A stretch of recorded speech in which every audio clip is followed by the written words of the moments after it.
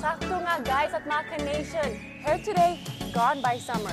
Here at Skinability, we're breaking down which treatments will get you ready for the season of summer clothes, warm weather, and the short shorts.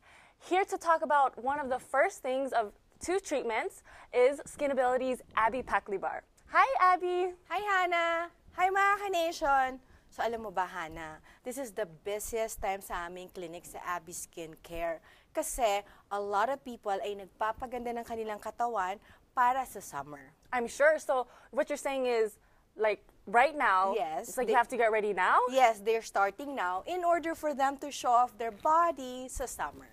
Oh, okay. So, the first treatment is the LHE hair removal. yes, I recommend there's two treatment, no? Yung LHE permanent hair removal and also yung flawless white laser. Okay, so that's the second treatment. Yes. So, yung, yeah. Tell me yung more L- about the LHE hair Correct, yeah. removal. Yung LHE permanent hair removal, kasi mga kanation natin, ano, nagwa-wax sila, may mga hair sila, waxing, shaving, tweezing, para matanggal yung hair nila. Kaya lang may side effect yon. Ang nangyayari doon, nagkakaroon ka ng mga folliculitis, so yung mga butlig-butlig sa skin natin, or, or kunwari yung mga ano, yung mga pag-itim ng mga underarm nila, or even sa legs, nangingitim din.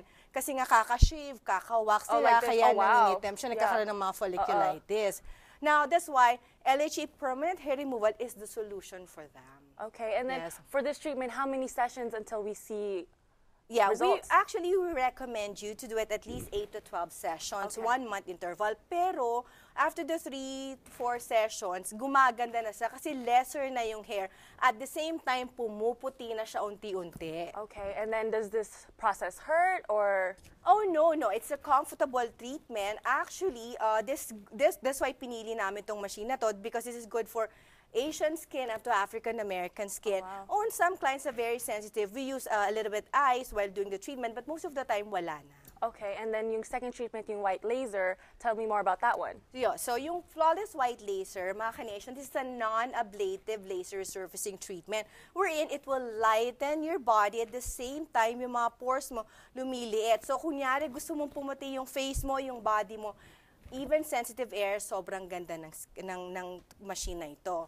Um, kunyari yung mga clients na nagkaroon ng side effect yung pagwawax ang pagsa-shave nila, katulad niyan. Oo, oo. Yan, may, may pigmentation, may mga folliculitis. So we did flawless white laser on her. So kita mo, Oh, naglighten, wow. nawala yung mga folliculitis niya. And then ito naman, how many sessions until we see Um, results? actually, after one session, Oh, one? itong treatment na to, after one session, you see a result Oh, na wow. talaga. But we recommend you three to five sessions in a year, and then maintenance ka na lang once a year. Okay, and then masakit ba itong process or No, no. Actually, we numb the area of concern. But most of the time, sa mga lower extremities, we don't really numb kasi hindi naman siya Oh, talaga okay. very So, comfortable. Yeah, but for the face, kung may mga pigmentation sa face and stuff, then we have to numb. Okay, and then you recommend products after the Yes, process. it's very important to follow up with a aftercare program, home care products, para lalo ma-enhance ang treatment natin. So we recommend you to use our Ultimate Lightening Soap. Okay. Uh, use it twice a day.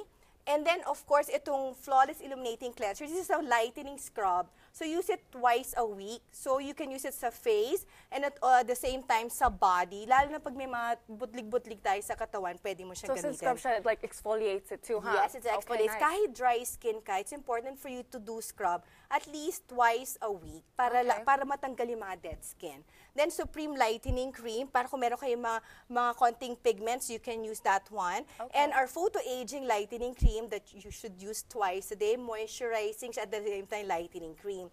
Tapos, of course, when you're lightening something, you have to wear sunscreen para walang nangingitim, lalo na pro-protect siya sa sun. And kung for example, medyo pawisin tayo, we recommend our very famous glutathione deodorant. Okay, so mga Kanation, if you want to start getting ready for the summer so you can soak up all of the summer fun, make sure you call Abby Skin Clinic and make an appointment. And Abby, can you tell us the details about that?